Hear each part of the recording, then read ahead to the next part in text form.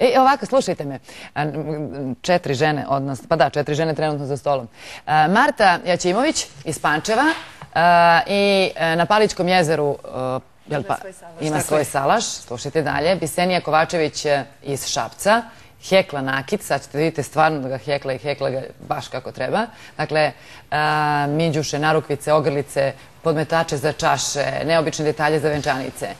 E sad vidite ovako, one su kada im je bilo najteže rešile da svoju sudbinu uzmu u svoje ruke i zato su danas gošće Beogradske hronike. Sa njima je naravno i Sanja Popović-Pantić, predsjednica Udruženja poslovnih žena Srbije i glavna koordinator, koordinatorka na projektu. E sad, ja sad, kad sam sve o vama ispričala, sve već zvuči onako kao, da, sad će opet ove žene da mi pričaju kako je lako u Srbiji zaraditi novac i kako je samo ovde važno, jeste, znam i ja da radim, ali nemam sreće.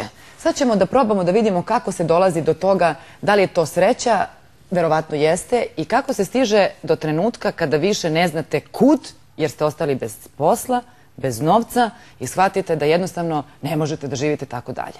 Kako je zapravo, kako izgleda vaša priča? Pa isto tako, eto, ja sam se relativno, relativno mlada udala, Mhm.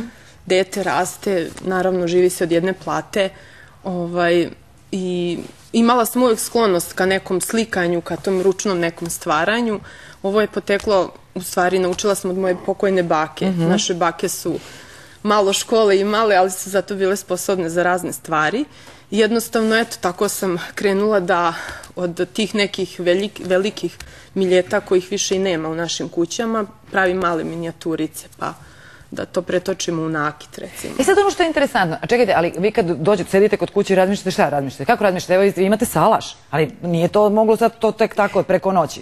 Dođete u situaciju kakvu, nemam posao, tehnološki sam višak, e, imam određene godine, nećemo govoriti, ali to nije ni tako strašno reći, u našim godinama se ništa ne krije, 40-50, mislim najgore. Najbolje. Ni- najbolje i najgore. Niti ste da počnete neki novi posao jer vas suštinski niko neće, a naravno da znate da možete i da želite da, da radite i znate da vam je to potrebno, na kraju nemate od čega. Slična priča i kod vas. I, Pa ka-. I šta vi sad? Sednete i kažete šta ću sad?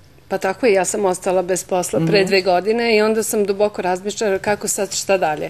Naravno da je bilo potrebe da idem dalje da bi radni staž produžila, Mhm. da bi imala.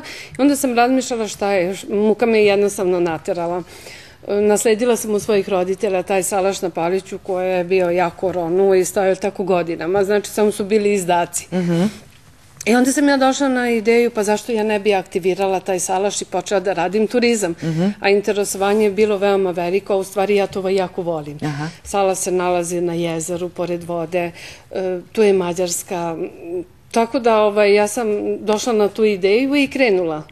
E sad ono što je, sad smo mi ispričali ono što bismo mi voleli, vi ste heklali, imate to lepo, taj zanat u rukama, e, krenulo je to nekom svojom pričom, ali da bi to, i da bi to postala priča od koje se može živeti, e, ne samo ta želja i ne samo to, moralo još nešto se dogoditi. Šta se dogodilo? Pa dogodilo se to da je potrebna uvek podrška, znači Mhm. ne možete sami e, da krenete tek tako, morate imati neki, e, da kažem, okidač ili poziv, kao što su i Marta i Bisenija videle na infostudu na sajtu, poziv da se priključe. Samo trenutak, znači čitali su se sajtovi, sve živo, samo da vidim gde ću i šta ću. Dobro, to su, mislim, putevi prosto da se zna. Mhm. informacija je vrlo bitno, znači uvek treba imati otvorene oči i uši i ovaj, ušli su u tu najužu selekciju jer smo mi želeli upravo da okupimo žene koje imaju već neku preduzetničku ideju Mhm. i upravo su i Bisenija i Marta, u stvari Bisenija malo kasnije došla do ove ideje ovaj, uz pomoć mentorke, pošto program pored te edukacije uključuje i kontakt e, početnica sa iskusnim preduzetnicama Mhm. koje im onda daju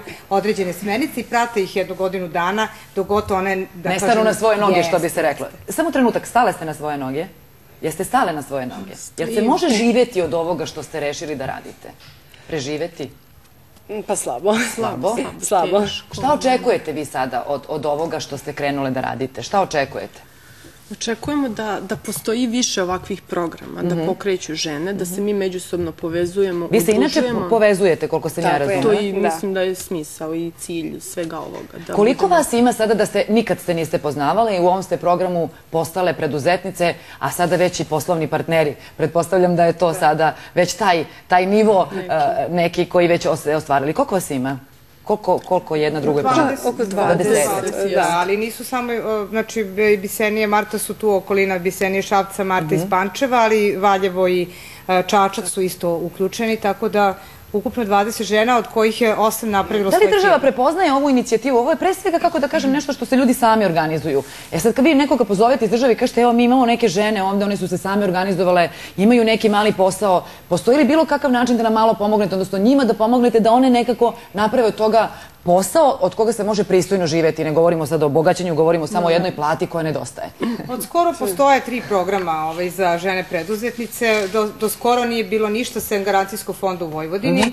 A evo sada ima na fondu, eh, fondu za razvoj Republike Srbije eh, dve kreditne linije za žene početnice u biznisu i za razvijene ženske biznise. Ali da li Tako Evropa, ne, rekli ste mi da je ovo u ostalom bio jedan ev- evropski program, da su oni odvojili neki Jeste. novac i neko strpljenje i neko vreme i pomogle ovim ženama ovde. Da li treba iskoristiti priliku, a čini mi se da to nije, ovaj, da nije, nije, nije, nije, loš trenutak. Evropa baš svuda u svetu, odnosno u Evropi, pokušava da, da animira žene koje, koje uglavnom sede kod kuće, muškarci su ti koji donose neki novac i, i, i zarađuju. I na tom, u tom smislu imaju više, kako da kažem, više prednosti. Čini mi se da je pravi trenutak, da žene nešto mogu da preduzmu i da će im neko pomoći. Pa, Kome da se eh, obrate? Uvek, uvek je loš trenutak, mislim, barem u Srbiji, To ili uvek je pravi trenutak eh, da krenete ovaj, eh, sa nekim nivoom aktivnosti. Da li će to da izraste zaista u biznis od koga će moći da se živi, zavisi naravno od mnogih okolnosti, a pre svega od sistemske podrške države. Mhm.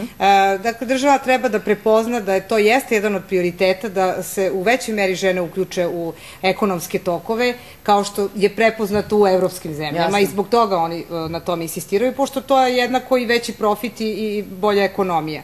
E sad, kada se to prepozna kod nas, pa kada se i ti fondovi malo, da kažem, popune i budu raspoloživi za veći broj korisnica, onda možemo da govorimo o tome da, da su stvarno i kod nas, da je Jasno. država prepoznala da je to bitno. Do tada, do tada ja ovaj, navijam za vas. E, pa ozbiljno, ja jedino to što mogu e, i verujem da svi oni koji su sada gledali ovu emisiju takođe će navijati za vas. Jedno jezero, zove se Paličko, jedan salaš, prepoznaćete vlasnicu, svratite da popijete kafu, a što se tiče nakita, e, evo ja obećavam da ću u sledećoj emisiji nositi miđuše, pa ćete mi reći da li su vam se dopale. Hvala još jedno što ste bili sa nama. Hvala i vama.